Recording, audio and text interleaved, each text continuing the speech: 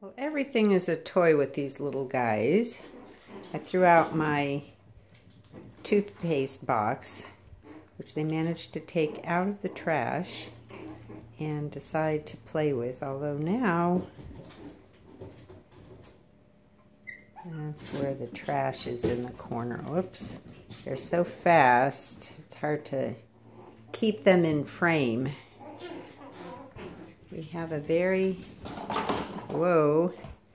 Well, now there's the toothpaste box again. See, what happened? What is that? Everything becomes a toy, huh? So I took down the kennel and decided to give them my shower because my shower is big as some people's rooms. So it's like a six foot by five foot shower. So now we have turned that into the little doggy area when I can't supervise them. And it makes very easy to clean because I can just shower it right off. Take the bed out, of course, and the potty pad. That is my economical potty pad, environmentally friendly. I just wash them and it beats their shredding the paper ones because everything is a toy. Oops. What are you guys doing?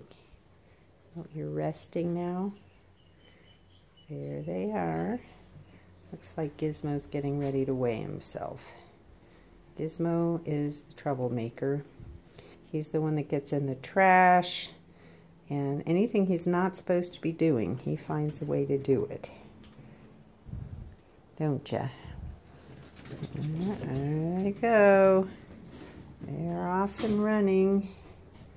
And he's probably trying to get back in the trash again. If that's what that little guy does. Oh, he's on his scale.